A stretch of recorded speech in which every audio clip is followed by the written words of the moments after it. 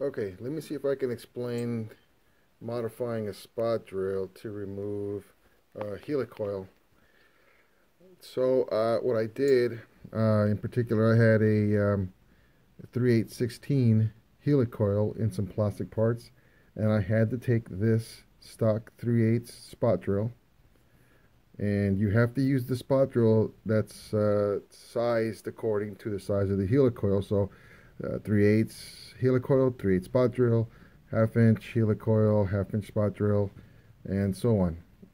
So I took this 3 8 and uh, a little bit of uh, a little bit of description here is needed. So on all the spot drills, the right hand spot drills, or clockwise spot drills, uh, they'll all have a cutting edge, which is the, the, the edge that bites the material, removes it, and all have a relief, the back side of the edge, the back side of the cut, the back side of the cut, the back side of the tool, called a relief.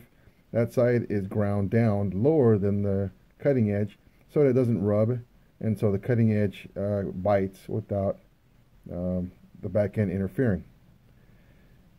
In order to use a tool to remove a helicoil, you have to change the geometry uh, so that the back edge, the relief is now the cutting edge and vice versa. So uh, easily, uh, not easily, but if you can, on a, on a bench grinder, you need to lower the cutting edge, which is the higher edge. This edge here was this edge here. So if you can grind that down lower than the relief edge, then in in all um, reality, you should be able to run it in reverse, and this should be your new cutting edge while it, when it runs counterclockwise. Uh, you just have to make sure that the that the that the old leading edge is lower than the relief edge. And uh, if you if you kind of look at it, let me show you what what I'm talking about. So if you look at the uh, the cutting edge there on the on the bottom, let's just say, and you rotate it.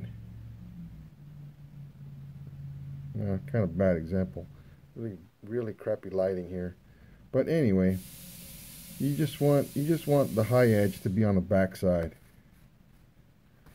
you know so that this edge so that this edge cuts now going in reverse and this edge doesn't rub which this will do if you run it in reverse the the the, the higher edge the cutting edge will be rubbing and nothing's going to happen on this on this edge in reverse so that's the best explanation I can give I'm not a I'm not very good at this.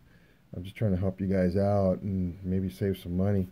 But it is important that you do get the appropriate size spot drill. Um, and I, on my link, it shows some, some other options. And you can get some stuff from McMaster, and you can also buy some reversible drills. Um, the reversible drills are a little bit tricky uh, since the angle's a little bit weird, you know, 118 degrees. Uh, they do tend to want to just uh, rip into things, uh, which might damage your existing threads.